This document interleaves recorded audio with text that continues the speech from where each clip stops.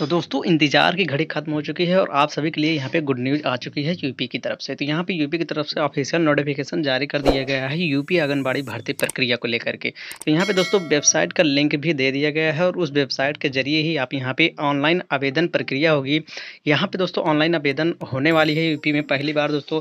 UP anganwadi भर्ती प्रक्रिया की जो ऑनलाइन प्रक्रिया होगी दोस्तों, यहाँ पे पूरा उसका ब्यौरा जो है बता दिया गया है कि आपको इसमें क्या क्या चीज़ें भरनी है क्या क्या चीज़ें नहीं भरनी आगे मैं इस वीडियो में बताने वाला हूँ आपके सो तो वीडियो में मेरे साथ बने रहे दोस्तों। वीडियो को बिना स्किप किए पूरा देखें ताकि आपको सब कुछ समझ में आ जाए, एक भी जानकारी बिल्कुल भी ना छूटे। तो चलिए दोस्तों, हम फटाफट आपको बता देते हैं कि कितनी बड़ी न्यूज़ आप सभी के लिए है और ये भर्ती प्रक्रिया जो है अगले तीन दिनों के अंदर ही अंदर चालू होने वाली है।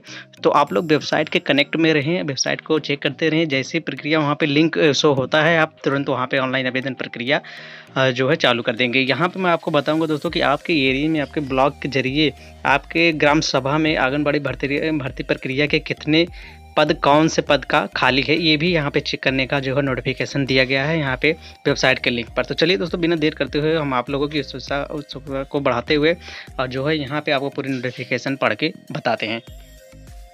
तो दोस्तों, यहाँ पे आप देख रहे हैं कि अमर उजाला की तरफ़ से ये पोस्ट अभी जस्ट शेयर किया गया है। यहाँ देख सकते हैं, चौबीस मार्च नौ अड़तीस पर 2021 देख सकते हैं कि नौ अड़तीस पर यह पोस्ट शेयर किया गया है कि तीन दिन में शुरू होगी आंगनबाड़ी के रिक्त तिरपन सौ पदों पर भर्ती प्रक्रिया जारी हो चुके हैं निर्देश। जो है गुड न्यूज़ आपका ये है कि आपकी यहाँ पे भर्ती प्रक्रिया जो है तीन दिन के बाद या फिर तीन दिन के अंदर में ही स्टार्ट होने वाली है। ये आप बात ध्यान में रखें। यहाँ देख सकते हैं दोस्तों बाल विकास सेवा एवं पोषाहार विभाग में आंगनबाड़ी व मिनी आंगनबाड़ी कार्यकर्ताओं और सहिकाओं युवाओं के रिक्त पदों पर भर्ती की प्रक्रिया शुरू होने जा रही है। इसके लिए निदेशक आईसीडीएस डॉक्टर सारिका मोहन की ओर से अभी जो है सभी डीएम को तीन दिन में भर्ती के लिए विज्ञापन जारी करने के निर्देश दिए हैं।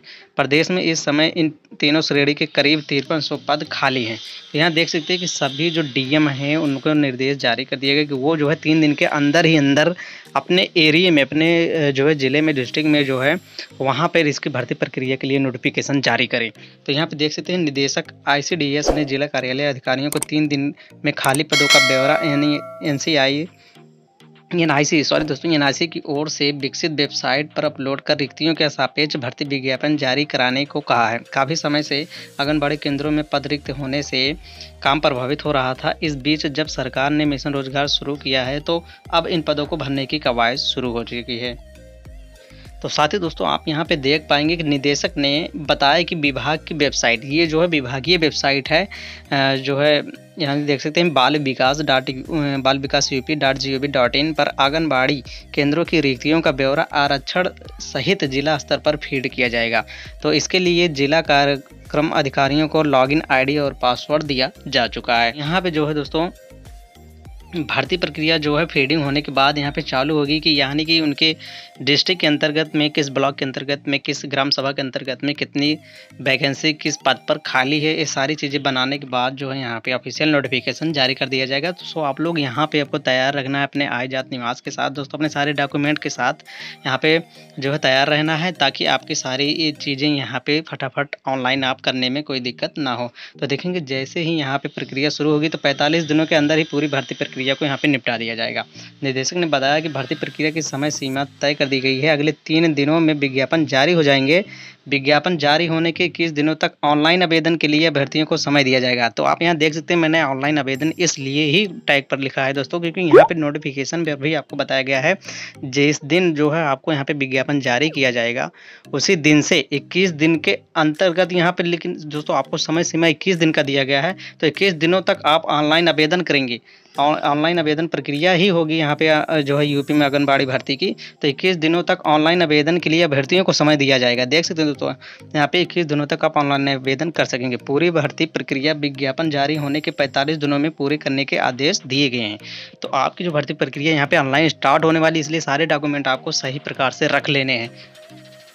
तो आगे दोस्तों मैं आपको बताता हूँ कि देखिए, जो ऑफिशियल वेबसाइट विभाग की जारी की गई है, इसे मैं ओपन करके आपको दिखाता हूँ। तो यहाँ पे देखिए, मैंने इसे अपने जो है ब्राउज़र में ओपन करके रखा है और यहाँ पे आप देख पाएँगे कि यहाँ पर भी ऑफिशियल नोटिफिकेशन आप देख सकते हैं Bal Vikas dot G O V dot करते जब हम जाएँगे तो देखिए, आपको भी यहाँ पे नोटिफिकेशन मिल जाता है कि आंगनबाड़ी कार्यकर्तियों मिनी आंगनबाड़ी कार्यकर्तियों एवं सहिकाओं की मानदेय पर संविदा आधारित नियुक्त हेतु आवेदन पत्र। यहाँ देखेंगे दोस्तों, सारी जानकारी दिया गया है। तो चलिए अंदर इस पर देखिए, इस पर हम जब क्लिक करते हैं दोस्तों तो देखिए हमारे सामने जो है एक नया पेज ओपन होकर के आ जाता है। तो यहाँ देखेंगे।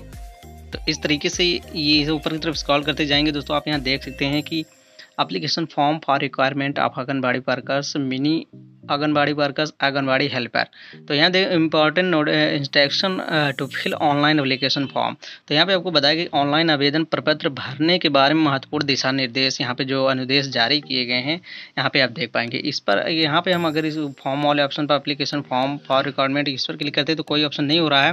तो दोस्तों, ये सारी प्रक्रिया भी तीन दिन के बाद, तीन दिन के अंदर में चालू होने वाली है। लेकिन यहाँ पर जो दिशा निर्देश बताए गए हैं ऑनलाइन आवेदन, भरते समय आपको किन किन बातों का ध्यान रखना है, यहाँ पे देख पाएँगे। नंबर एक है दोस्तों, यहाँ पे देखिए, उम्मीदवारों को सुझाव दिया जाता है कि वे आवेदन प्रपत्र भरने से पूर्व अनुदेशों को ध्यानपूर्वक पढ़ लें। उसके बाद यहाँ पे देखेंगे, ऑनलाइन आवेदन में सभी प्रविष्टियाँ अंग्रेज़ी भाषा में भरी जाएँगी। प्रविष्टियाँ भरने में विशेष सुधारक जैसे इन सबका करेक्टर का, स्पेशल करेक्टर का इस्तेमाल आपको नहीं करना है। यहाँ पे बताया गया दोस्तों।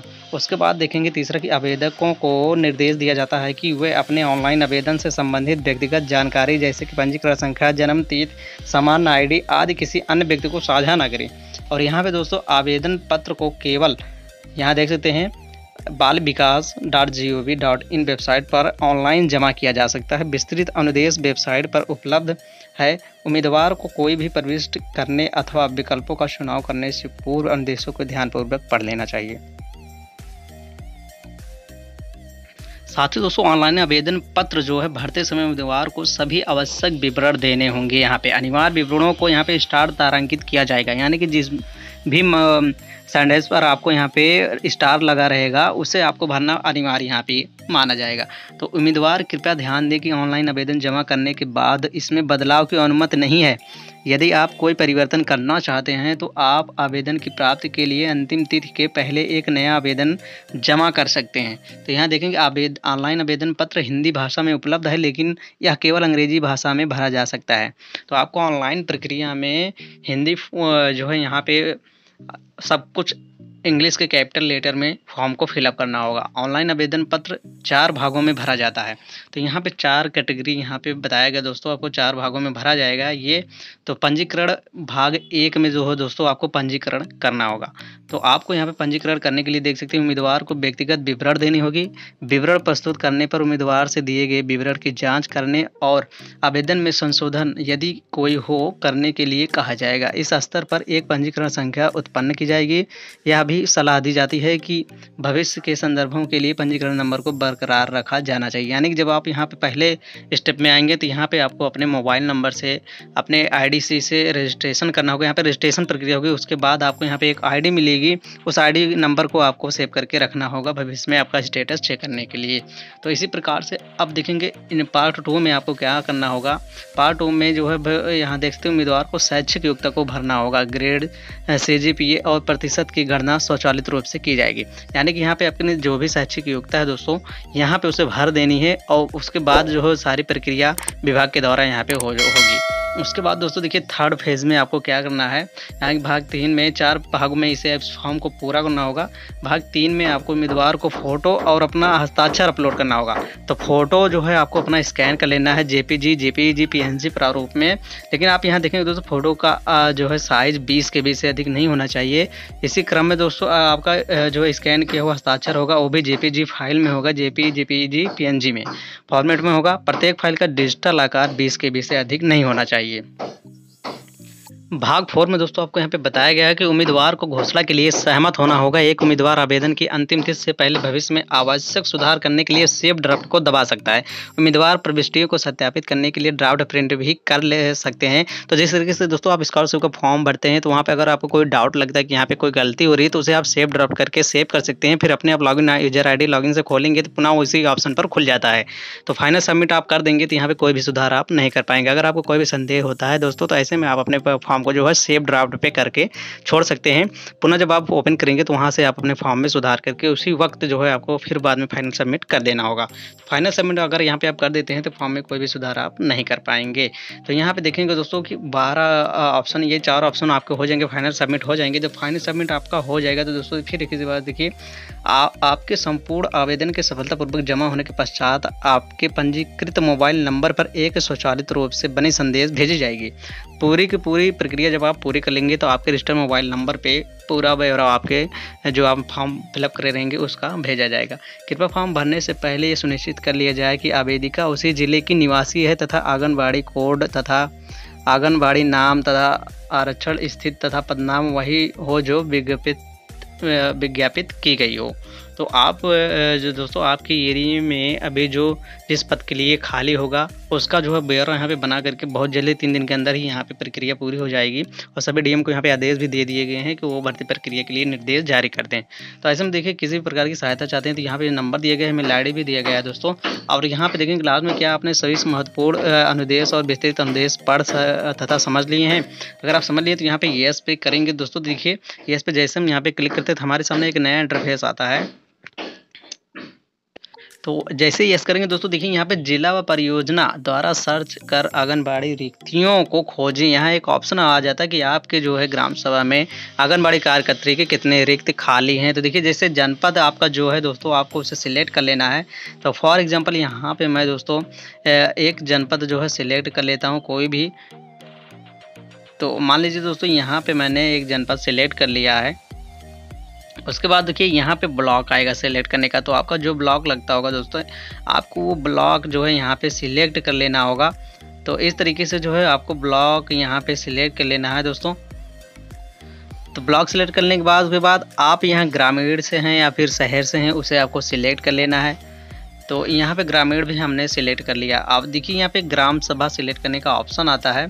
तो इस पर जो है ये अभी जो है पूरी तरीके से काम नहीं कर रहा दोस्तों तो यहाँ पे देखेंगे यहाँ पे नेटवर्क कनेक्शन हो सकता है। और उसके बाद यहाँ पे पद का नाम देखेंगे तो पद का नाम में यहाँ पे देख सकते हैं आंगनबाड़ी कार्यकर्त्री या मिनी आंगनबाड़ी कार्यकर्त्री या फिर आंगनबाड़ी सहायिका। तो जो भी आप अप्लाई करना चाहते हैं जिसकी भी तो यहाँ पे तीनों का भी पद आप खाली अगर देखना चाहते हैं तो यहाँ पे क्लिक करके सर्च करेंगे तो पूरा डिटेल आ जाएगा। लेकिन यहाँ पे ग्राम सभा भरने के बाद ही तो ये ग्राम सभा वाला लोडिंग यहाँ पे नहीं ले पा रहा है। तो इस तरीके से ये पूरी प्रक्रिया यहाँ पे बताई गई है। सो दोस्तों, अब जो है काफ़ी दिन दूर नहीं है। यूपी में आंगनबाड़ी भर्ती प्रक्रिया बहुत ही जल्द स्टार्ट हो जाएगी। तो यहाँ पे दोस्तों, आप लोग काफ़ी कमेंट करते हैं कि हम आय प्रमाण पत्र किसका लगाएँगे? यहाँ पे आय प्रमाण पत्र जो है हम बता दें। तो आपको, यदि आप अकेली हैं दोस्तों, आप पे जो है जो है विधवा हैं या फिर आप सिंगल हैं, आपकी मैरिज नहीं हुई है यहाँ पे तो यहाँ पे आप अपना लगा सकते हैं। अगर आपकी शादी हो गई तो आप यहाँ अपने हस्बैंड का भी, अपने परिवार का भी आय प्रमाण पत्र लगा सकते हैं। क्योंकि आपको परिवार का ही फैमिली मेंबर का ही आय मांगा जाता है। तो आप यहाँ आय अपने परिवार का भी लगा सकते हैं। तो ऐसे में आय प्रमाण पत्र अपना बनवा लें, जो कि यहाँ पे बताया भी गया है कि आय प्रमाण पत्र का जो आप प्राइस उसमें होना चाहिए दोस्तों। और उसमें जो पैसे दर्शाने की बात कही गई थी, वो छियालीस हज़ार रुपये जो है यहाँ पे सालाना उसमें दिखाया जाना चाहिए। तो छियालीस हज़ार से पचास हज़ार तक के बीच उसमें अगर आपका वहाँ पे बन जाता है, उससे कम में बन जाता है तो आप अपने लेखपाल संपर्क करके उसे बनवा सकते हैं। तो ऐसे में आप ग्रामीण के लिए छियालीस और शहर के लिए छप्पन हज़ार यहाँ पर रखा गया है। तो आय प्रमाण पत्र में इतना तो आपका शो होना चाहिए। और बाकी सारे डॉक्यूमेंट जो लगेंगे, उसे आपको अभी से ही तैयार करके रख लेना होगा। फ़ोटो का साइज़ बेस के भी सिग्नेचर का बेस के भी, ये सब कर लेना होगा। और जैसी प्रक्रिया स्टार्ट होती है, आप इसमें ऑनलाइन आवेदन करना शुरू कर देंगे। तो इसके लिए भी मैं वीडियो अपलोड कर दूँगा दोस्तों। तो बने रहे मेरे साथ वीडियो में और चैनल को सब्सक्राइब कर बेलाइकन दबाने के बाद नोटिफिकेशन इनेबल कर लें, ताकि हर एक योजना से जुड़ी वीडियो को सबसे पहले मिलती रहे।